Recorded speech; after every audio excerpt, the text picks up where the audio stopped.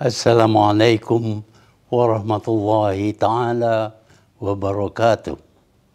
May peace be upon you. Ladies and gentlemen, first of all, I would like to thank the organizer for inviting me to share some thoughts with all the distinguished personalities present. I do not know how much of what I say can make any difference to the situation in Palestine where we witness every day for the past one month the barbarity of Israel conducting mass murder and genocide. But I am bound by a very basic principle in Islam when witnessing a grave injustice in which if I am not capable of raising my hands and joining the fight, I must speak up and oppose the tyranny. And that is what I am doing. I am now 98 years old and I have lived through numerous phases as the world evolved. I have witnessed the cruelties and atrocities of colonialism, the arrogance of the colonialists, and the hypocrisy of powerful nations. But the arrogance of Israel is its barbarity and colossal disregard for human values equals and most times surpass the horrors committed during the colonial past. Ladies and gentlemen, it is difficult to find words to describe the atrocities and horrendous cruelties inflicted by the Israelis on the Palestinians. These horrors perpetrated by the Israelis are brought right into our living room as we watch them on news channels and other sources of information on social media platforms. Then we ask ourselves, surely leaders of the Western world, the US and the UK in particular, have access to the same graphic images of children and babies being killed, dying horrific, suffocating death in rubbles of bombed buildings. On the one hand, these leaders of the so-called civilized world demand the third world to observe human rights and even animal rights and show overbearing concerns over homelessness and poverty. And yet all these that they preach to the world are being stripped blatantly of the Palestinians. Worse, they are abetting the Israelis to deny Palestinians of their rights, their homes, while totally impoverishing them. They supply the arms and incendiaries, including phosphorus bombs, to Israel to conduct genocide on the Palestinians and deprive them of all their rights. Surprising as it may seem to most people, it is actually a consistent trait of leaders from these nations who are imperialists. If we today discover that to these leaders the lives of Palestinians are of no consequence, it was likewise to them with the lives of the Iraqis, the Afghans, Vietnamese, Japanese, Koreans, Africans, Irish, Malays, Indians, Aborigines, and Native Americans.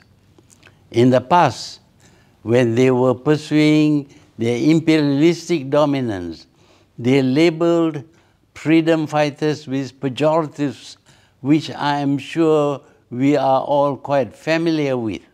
Barbarians, rebels, savages, uncivilized, infidels, recalcitrant, and of course, terrorists. As in the past, all these labeling a mere facade to distract the rest of the world from what was actually happening, the expansion of imperialism. For us we need to be steadfast in our support for the Palestinians and call a spade a spade. Israel is an occupying force committing genocide on Palestinians who are the occupied people. Israel is being abetted to commit the atrocities by the Western powers, whose hands are as bloodied as that of the Israelis with the blood of Palestinian children and babies. And let us be clear, in any language or definition, the occupier is the evil force and those occupied are victims. Victims of occupations have every right to rise against their occupier. And Palestine had been occupied for more than seven decades. And we should not let ourselves be taken for a ride by the modern day imperialists who want to confine Israel's genocidal reaction to Hamas retaliation on October the 7th.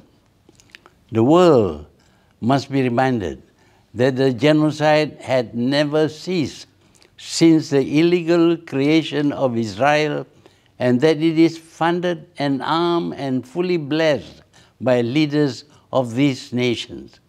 To sum up, the Palestinians are dealing with present-day imperialists and colonialists who stick together in the pursuit of their common interests, geopolitical dominance, which in turn ensure control over crucial regional resources.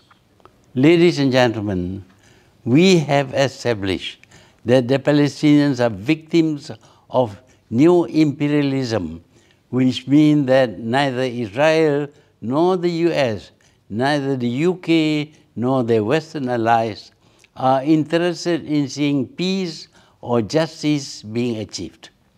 With that in mind, I cannot help but feel utterly disappointed with the recent joint Arab Islamic Extraordinary Summit, which failed to propose any concrete or strategic measures to pressure Israel and its Western allies to stop the massacre of Palestinian civilians.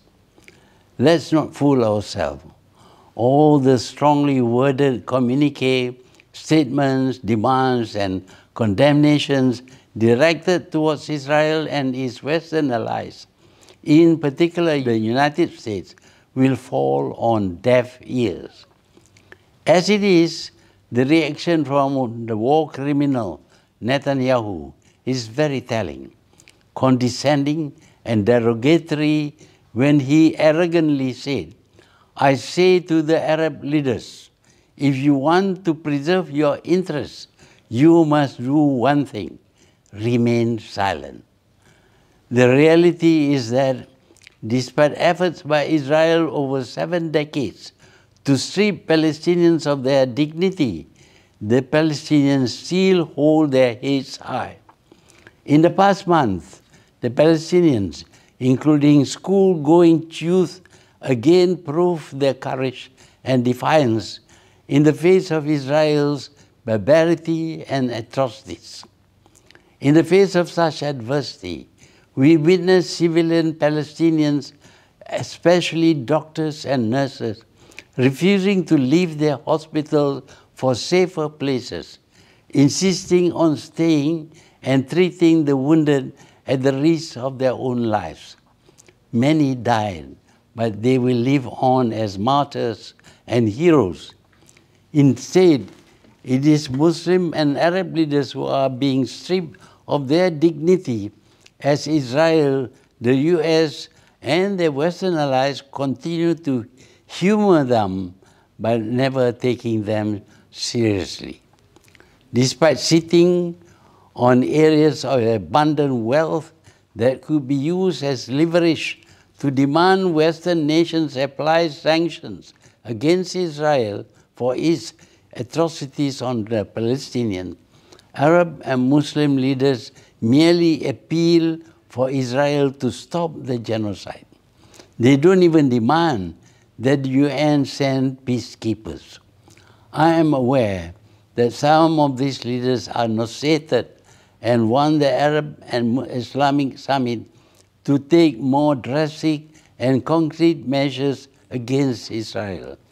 However, the others preferred to play it safe so that consensus could not be reached, other than the meaningless diplomatic appeal. With that, the Palestinians are left at the mercy of Israel, the U.S., and its Western allies, and they are as culpable as Israel over the genocide. Wassalamu alaikum wa rahmatullahi ta'ala wa barakatuh, and thank you.